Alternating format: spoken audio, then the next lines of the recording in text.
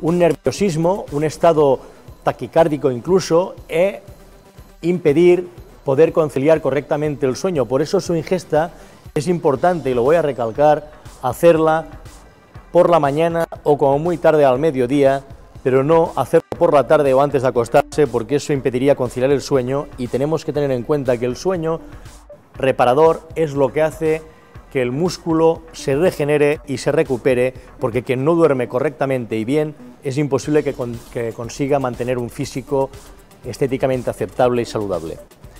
Sin alargarnos más, pienso que damos por acabado este pequeño resumen de quemadores de grasa y más adelante tocaremos alguno de estos temas de una forma más concisa.